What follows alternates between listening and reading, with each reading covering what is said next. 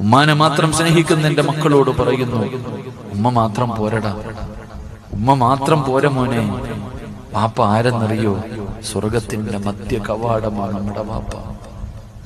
വാപ്പയാടാ സ്വർഗത്തിന്റെ വാതിൽ. ഉമ്മയുടെ കാൽ ചുവട്ടില സ്വർഗം കിടക്കുന്നത് കാര്യമൊക്കെ ശരിയാ. പക്ഷെ വാപ്പയാ വാതിൽ. ഉപ്പാന്റെ പൊരുത്തമില്ലെങ്കിൽ സ്വർഗം കിട്ടൂല. അള്ളാഹു നമുക്ക് ഈമാൻ തെരുമാറാകട്ടെ.